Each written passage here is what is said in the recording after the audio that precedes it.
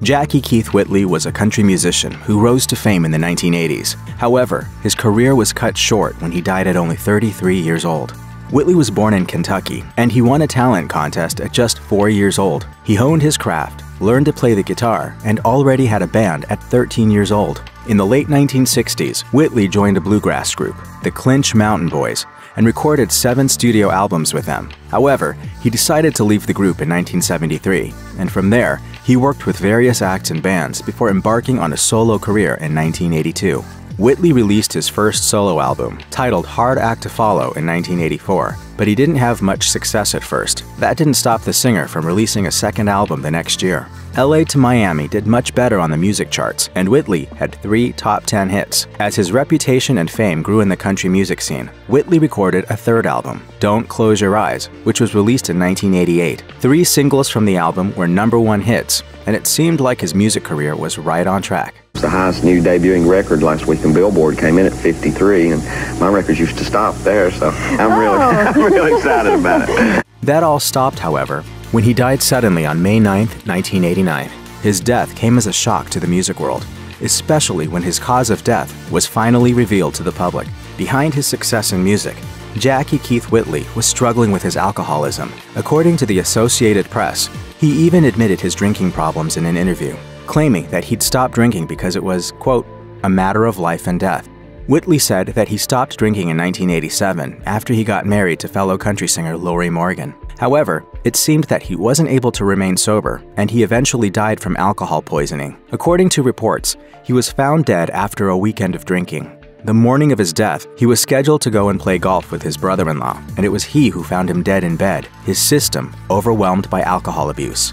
According to the autopsy performed after Whitley's death, he had an alcohol level of 0.47 in his bloodstream, five times the legal limit for intoxication in Tennessee at the time.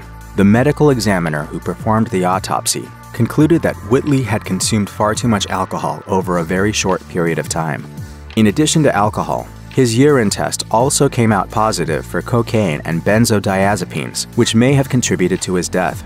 However, it was the alcohol consumption that was ultimately the main cause. His official cause of death was listed as acute ethanolism, according to autopsy files.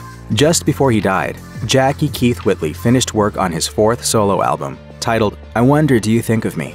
The album was released after his death, and the title song rose to become a number one hit. The music world mourned the loss of Whitley, and his wife Lorrie Morgan coped with the loss by gathering fellow country music stars to record Keith Whitley, a tribute album, released in 1994.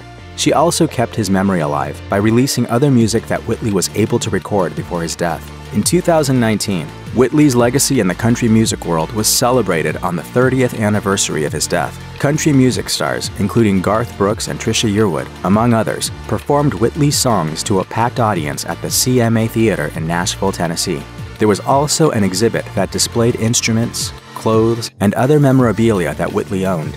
Despite his short life, Whitley is still remembered as a great country singer who became an influence to other country music stars. Jesse Keith Whitley, Morgan and Jackie Keith Whitley's son, followed in his parents' footsteps and is also a singer-songwriter. Though he works in the southern rock genre rather than country, he feels that his father would approve of his music, telling Taste of Country that he feels his father would say he's on the, quote, right path.